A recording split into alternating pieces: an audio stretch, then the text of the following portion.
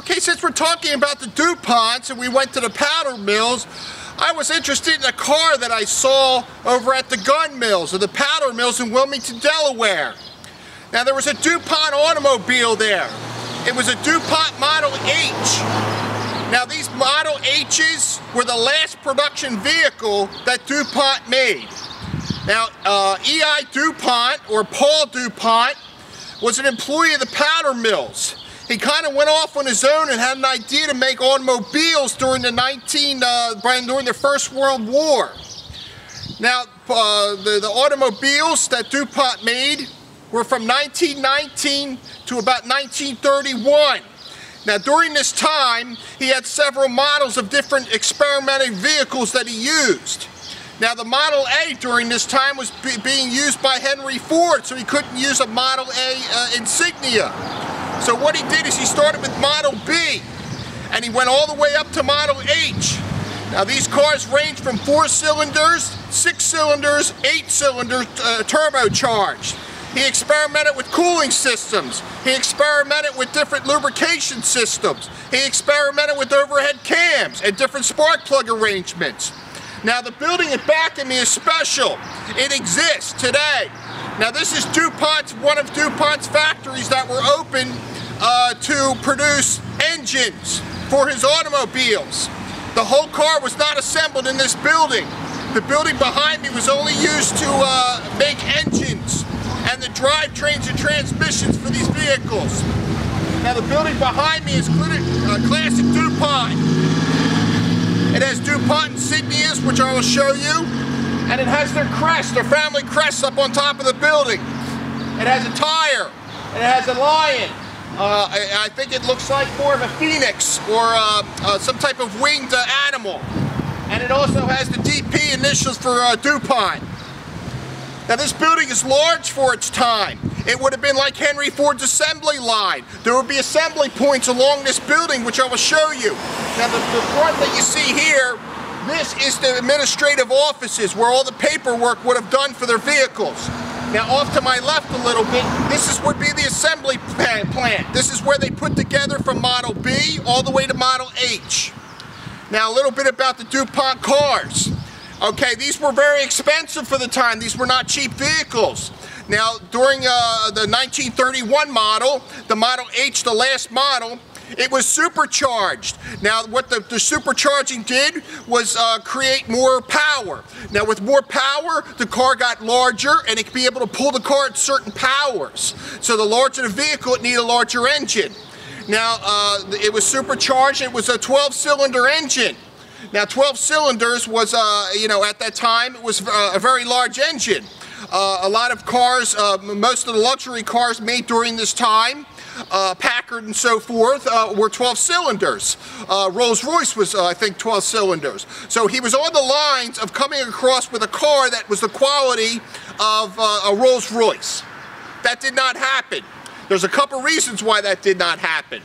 Now, first of all, like I was saying before, that DuPont uh, wasn't a car man. He got involved in the car game. He, Paul DuPont himself uh, didn't really know too much about this industry, what it took to produce cars. But he noticed uh, with Henry Ford was make a cheap car, give it to the masses, let's do that. But he didn't do that. Now everything with DuPont was expensive. Everything you see with DuPont, everything they did, they did over the top. So when they produced cars or engines at this plant, everything was over the top. Now his cars ranged from three to four thousand dollars in 1919. Now that's very, very, very expensive. That's probably on the lines of a Rolls Royce or a Packard at that time. Now, uh, you know, you think of cars coming into the United States now that are uh, low cost, but the quality's there. But this was, the, the, the price was there for DuPont. It was expensive, but the quality suffered. Now, this building is in Prospect Park, Pennsylvania, which is very strange for a building. Why would they build a, a facility like this in Prospect Park? Possibly zoning, it was close to the railroads. There's a railroad, the B&O Railroad is right behind me. Now, the, now the, most likely the spur came in behind here. They brought parts in for this manufacturing through the railway. So it was an easy access from Philadelphia, the major manufacturing uh, facilities, to bring parts for this uh, operation here. Now, now DuPont was smart. Now he learned from the powder business that you try to keep everything in one building. You do everything yourself and basically you save money. Now he did everything in this building behind me. I'm going to pan off here and I'm going to show you the facility. Now the windows are blocked out with concrete, but uh, you know they, these windows would have been uh, light to let light into the building.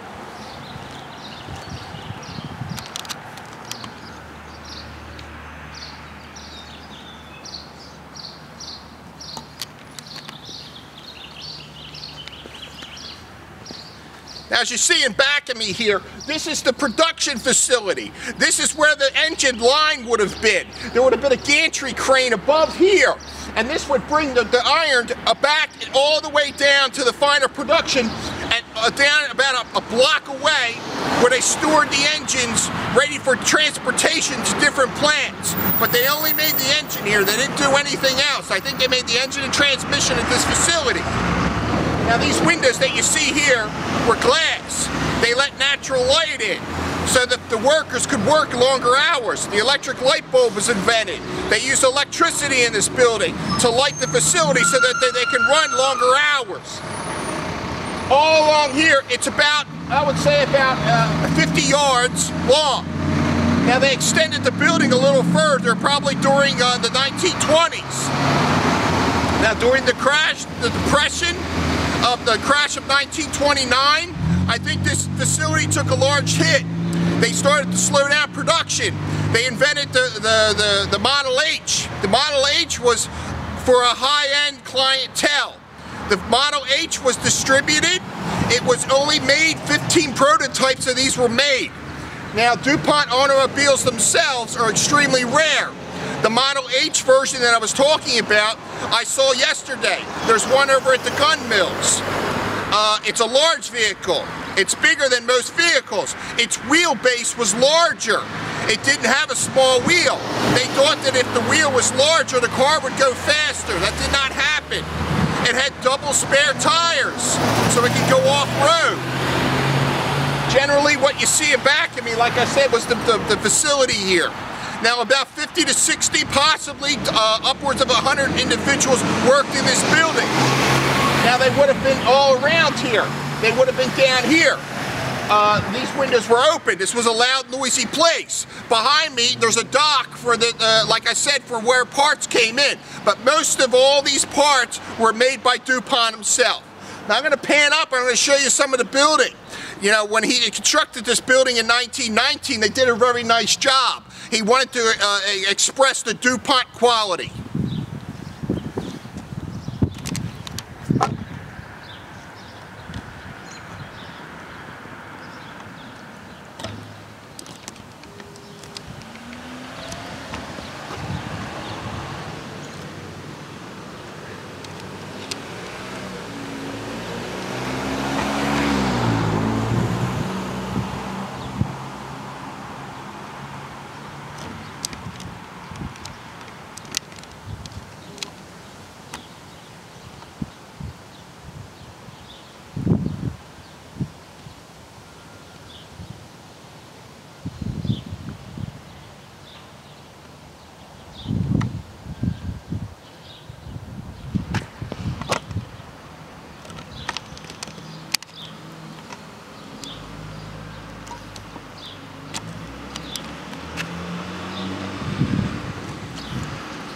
As you can see on, uh, up on uh, the building, it's very ornate.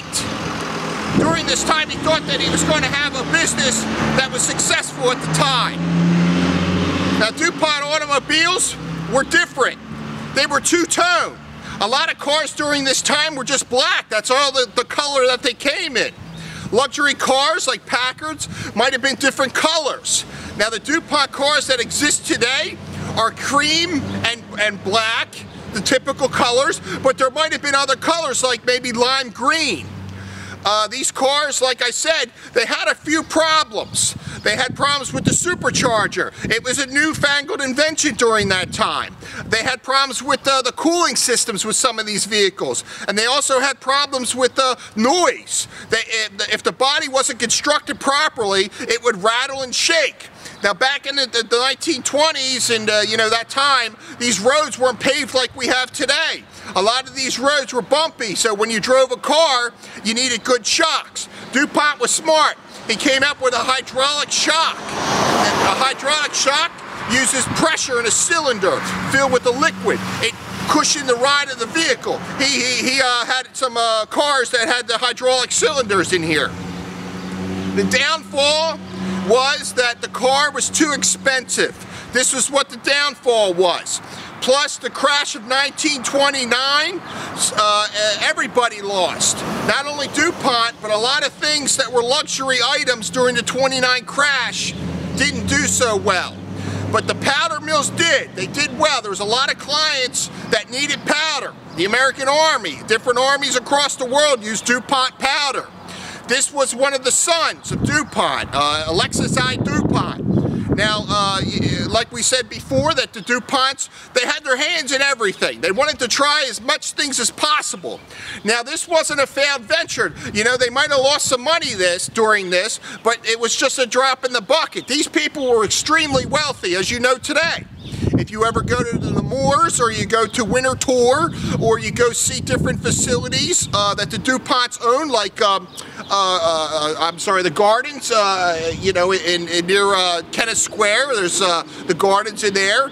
These people were extremely wealthy. An adventure like this was just a drop in the bucket, but they wanted to get into the car business. They wanted to try, and they did, but they did not succeed. And this is the only remainder this is the remainder of what remains from their automobile industry. Now, some of these cars do exist.